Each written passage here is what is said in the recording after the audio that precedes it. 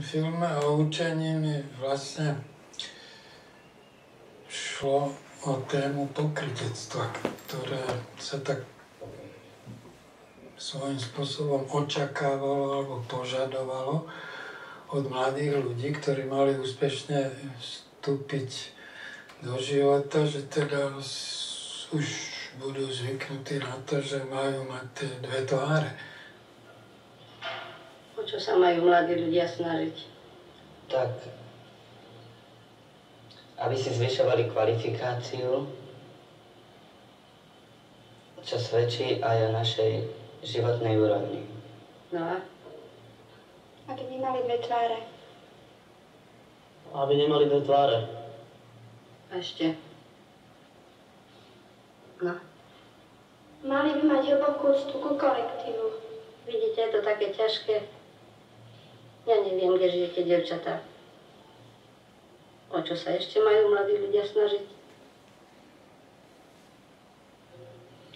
Aby majú, majú organizovať rôzne besedy pre tých, čo si, čo si nás vysvetujú z nich sveta. Ten dokumentárny film Učenie, keďže som bol študentom a absolventom režie hraného filmu bol realizovaný v niektorých častiach e, formou reportáže, ale aj skrytej inscenácie. Takej skrytej inscenácie, ktorá nemá ubrať autentickosti.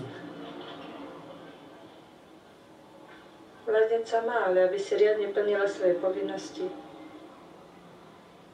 Ja som bola tiež mladá dievčatá, ale to, čo vy robíte...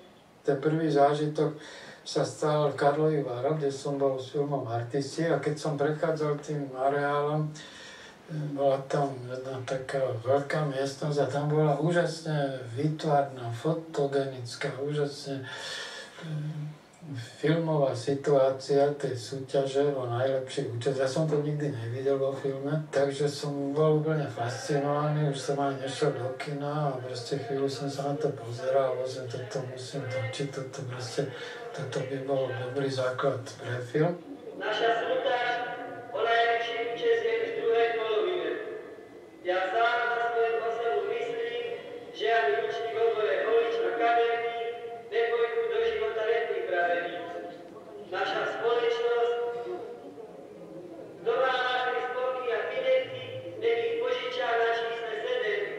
Pravdu povediac, ja ako mladý človek som bol dosť uzavretý, ale práve tá práca vo filme mi pomohla nájsť aj cestu k ľuďom.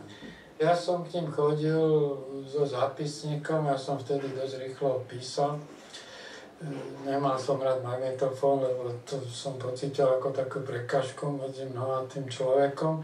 A všimol som si tie charakteristické situácie, tie jednotlivé typy ľudí, lebo z tej veľkej skupiny tých budúcich holičov a kaderníkov som si vybral, dajme tomu, 5, 6, 7 takých najvýraznejších typov vrátane môjho brata nekaderníka a vrátane Janka Lehockého, ktorý bol takým obdivovateľom hry časa.